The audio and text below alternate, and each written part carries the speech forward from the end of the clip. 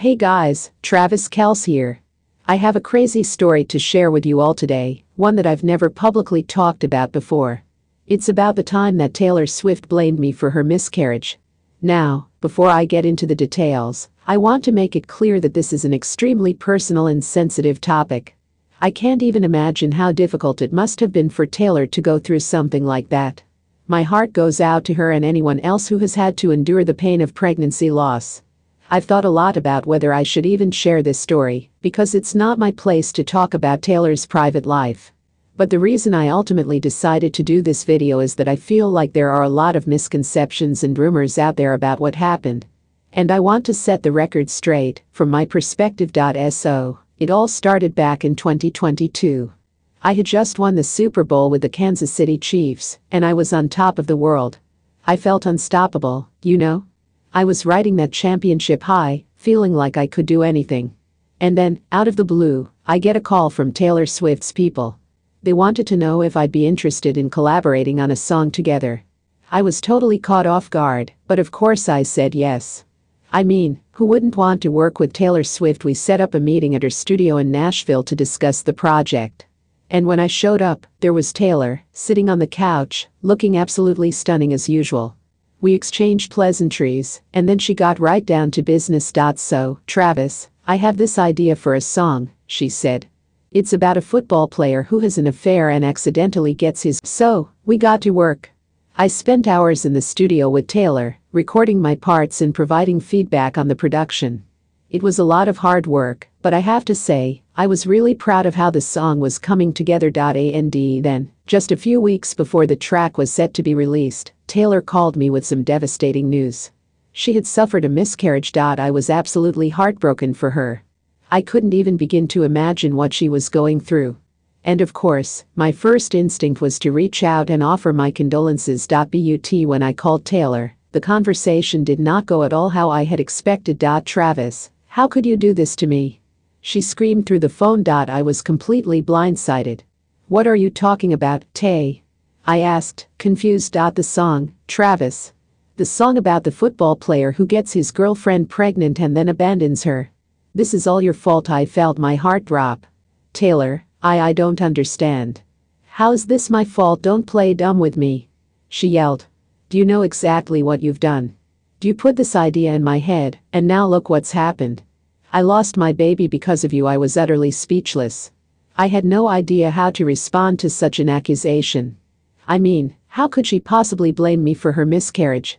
That made absolutely no sense. Taylor, I'm so sorry for your loss, but this has nothing to do with me or this song, I tried to explain.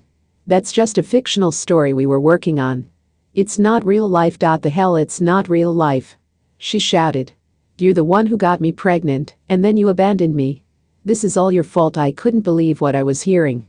Taylor was completely unhinged, and there was no reasoning with her. All I could do was try to calm her down and assure her that I had nothing to do with her pregnancy or her miscarriage. Taylor, please, you have to believe me. I would never do something like that to you. I care about you, and I'm devastated that you're going through this. But I had nothing to do with it, I swear. But Taylor was having none of it. She continued to scream and yell, accusing me of betraying her and destroying her life. It was all I could do to keep from breaking down myself. Eventually, the call ended, and I was left feeling completely shaken. I couldn't believe the Taylor was putting this all on me. I mean, yes, the song we were working on did have some similarities to what she was going through. But it was just a fictional story, it had nothing to do with real life. In the days and weeks that followed, the situation only got worse. Taylor went on a social media rampage, publicly blasting me and accusing me of being a deadbeat dad.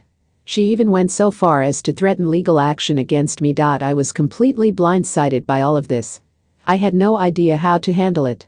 I mean, how do you defend yourself against something like that, especially when the other person is a global superstar with millions of devoted fans? I tried to reach out to Taylor, to reason with her, to get her to understand that I had nothing to do with her pregnancy or her miscarriage.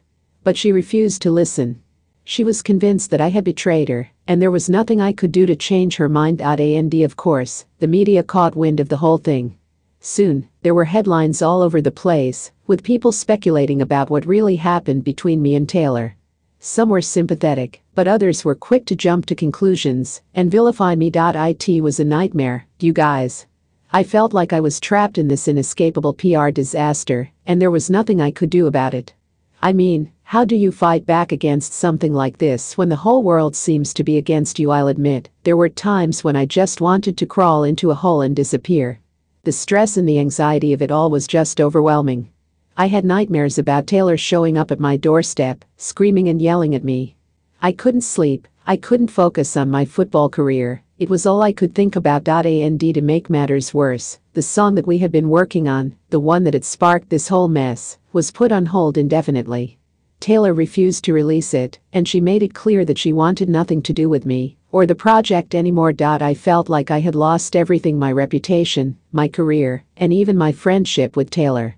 It was all just crumbling around me, and there was nothing I could do to stop it. But through it all, I tried to maintain my composure and stay strong.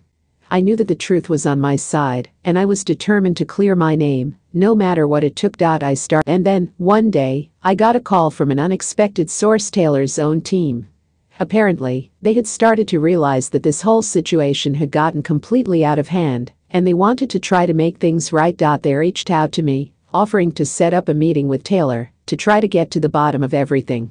I was hesitant at first, but ultimately, I knew that this was my best chance to set the record straight. So, I agreed to the meeting, and a few days later, I found myself sitting across the table from Taylor Swift herself. It was tense, to say the least, but I was determined to keep my cool and get to the truth. And as it turned out, the truth was even more heartbreaking than I could have imagined. Taylor had been dealing with a lot of personal struggles, including some mental health issues, and the loss of her pregnancy had sent her into a tailspin. She admitted that she had been unfairly blaming me for her miscarriage and that she knew deep down that it wasn't my fault.